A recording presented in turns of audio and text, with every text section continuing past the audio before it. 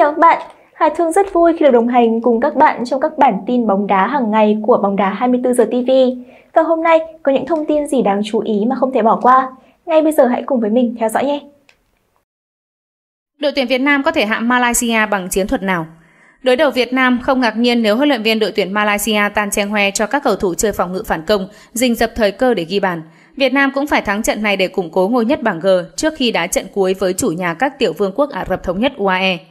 Lượt đi ở Mỹ Đình, đội tuyển Việt Nam đã chơi lấn lướt đội tuyển Malaysia khi cầm bóng nhiều hơn đối thủ, nhưng chỉ có thể thắng tối thiểu 1-0 nhờ pha móc bóng ấn tượng của Quang Hải.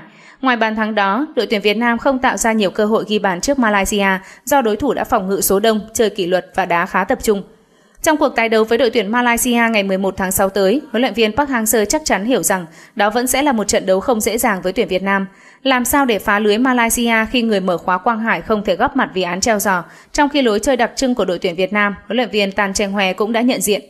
Muốn một lần nữa thắng ván cờ cân não với người đồng nghiệp Malaysia, ông Park cần dùng chiêu gì đó để trước nay đội tuyển Việt Nam ít dùng, bởi như thế thì mới có thể khiến đối thủ bất ngờ.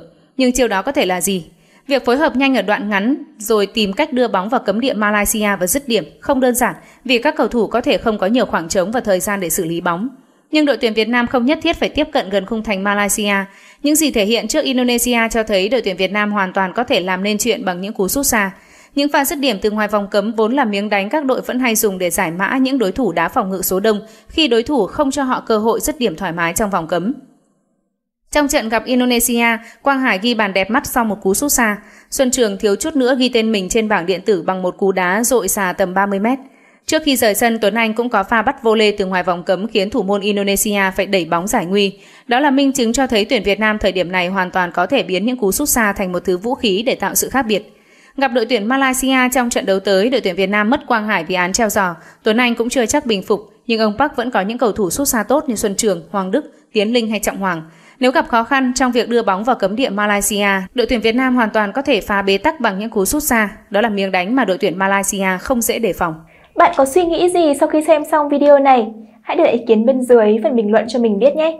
Cảm ơn các bạn đã dành thời gian theo dõi bản tin ngày hôm nay của Bóng đá 24 giờ TV.